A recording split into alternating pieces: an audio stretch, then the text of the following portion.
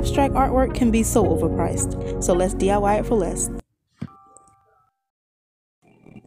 Hello guys, welcome back to another DIY. I'm starting with this 24 by 30 canvas I purchased from Walmart. It comes two in a pack. I believe I paid around $15 for them. I'm just starting with my base color and that color is white. I'm just going to cover my canvas completely in this white paint.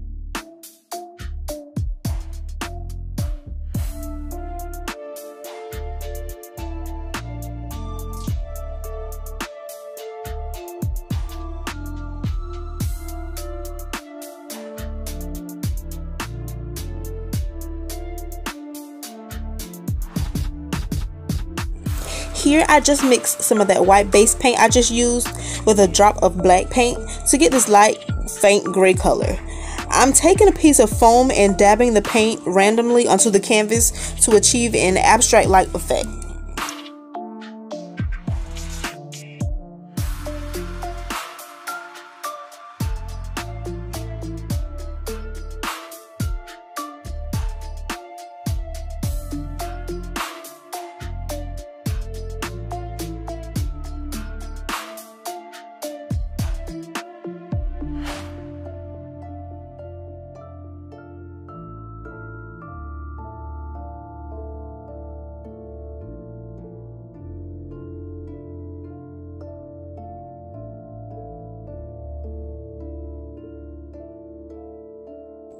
You could definitely achieve this look using a brush, but I choose to use the foam because I don't want any harsh lines and I think the foam does a good job at blending it out. But I'm just going over this and making sure I add some definition with a little darker gray on top of the light gray. Once I feel my gray is to my liking, I'll go ahead and freehand my design. This color you see me starting off with is a deep navy. It looks black on camera, but I just added some black paint and blue paint together to achieve this color.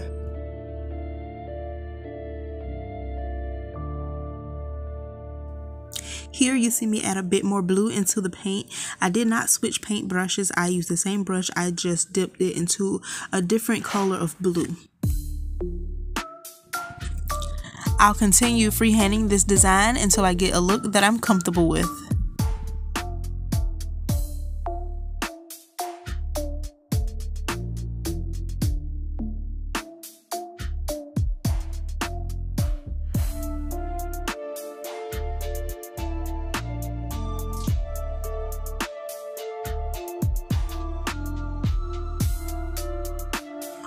I'm satisfied with the way my design looks, I take another piece of that foam and I just go in and blend out my colors.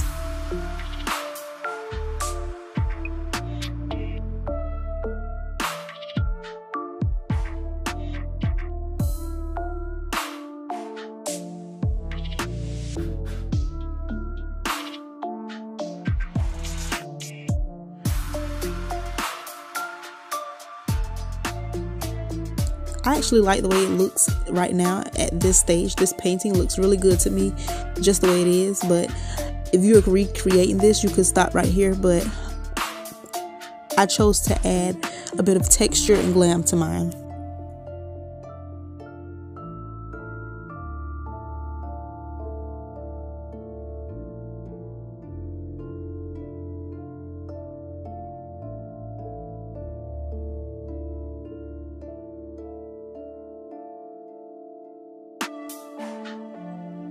Now, I know what you're thinking right here. This is starting to look a bit crazy, I know, but trust me, it gets better.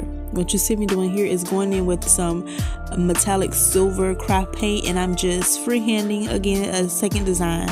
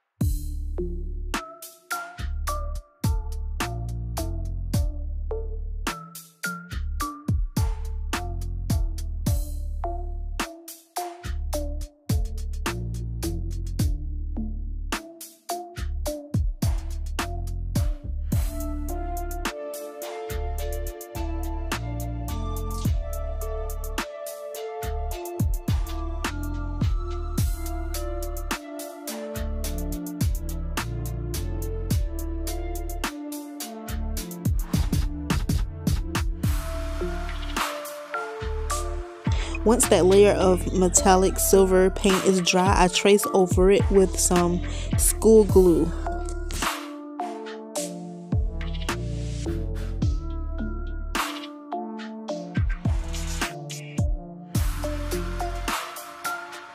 I then take my paintbrush to spread out that layer of glue just to get it nice and even.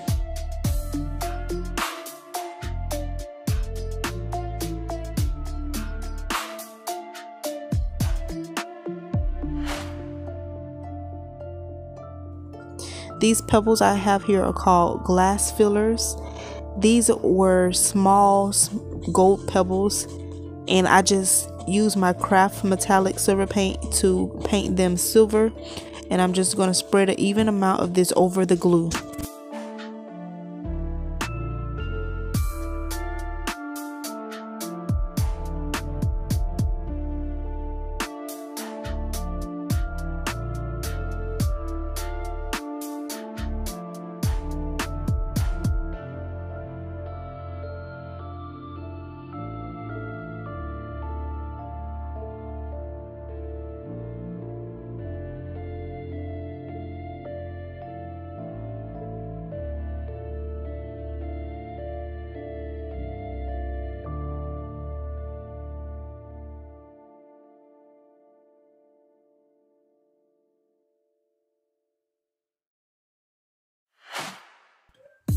Here I'm just finishing up that last little section for the pebbles.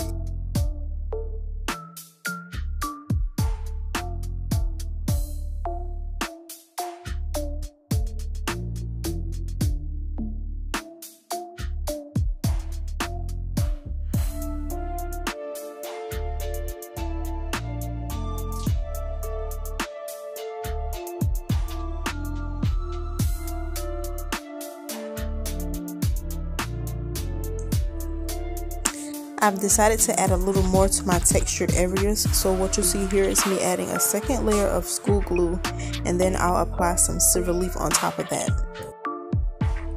I think it's important to mention that I made sure these pebbles were dry before I went over it with a second layer of glue. And then I used a clean paintbrush to smooth out that glue yet again. And then carefully taking my leaf sheet, I place it on top of the pebbles and using a clean dry paintbrush, I pat it into the surface.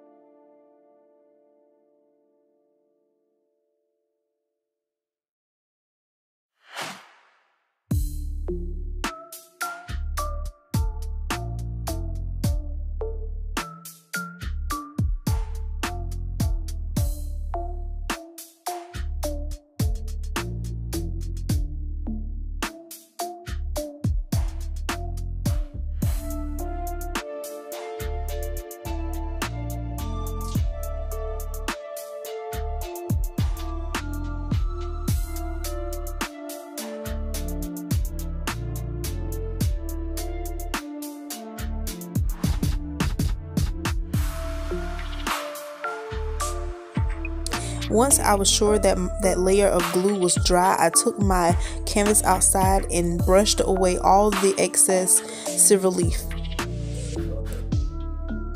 What you see me doing here is adding some splashes of paint.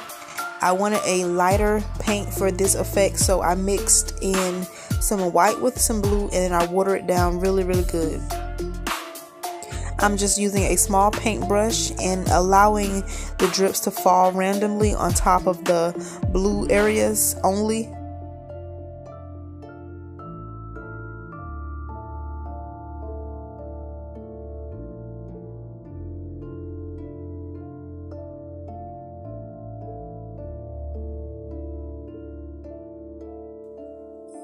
Now, here's a step that I actually thought was necessary, but I realized after I was done that it really was not.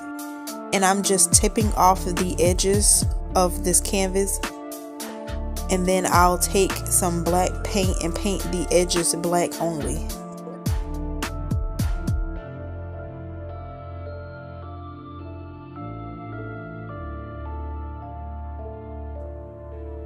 I thought by doing this it would give my artwork a nice framed look, but eventually I ended up framing it as well. So this step was again unnecessary.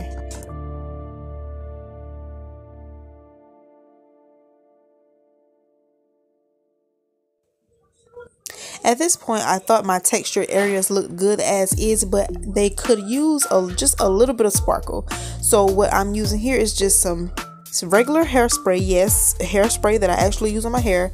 I'm spraying only the textured areas and then with my hands, I'm sprinkling some fine silver glitter.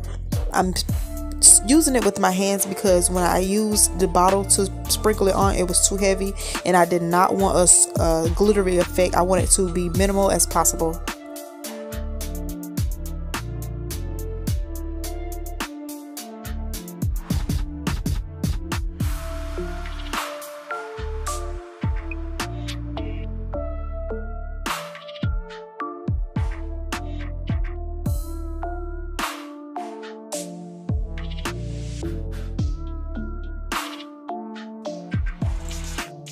And guys, once my glitter was dry, here is my final result.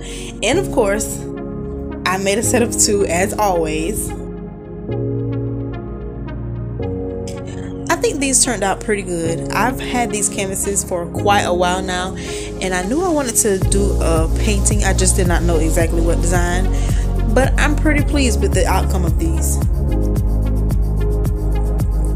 I tried to replicate my design. What I did on one, I did on the other. I know they don't look exactly the same, but they are pretty close. For a different effect, I tried flipping one upside down.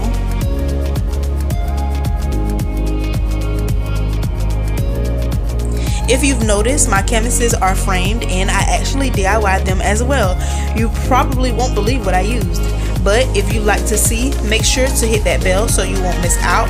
I'll be posting that video coming up soon. I appreciate you guys for watching. I hope this video was helpful. I hope you enjoyed this video and I hope you decide to come back for more. But until then, take care. Bye.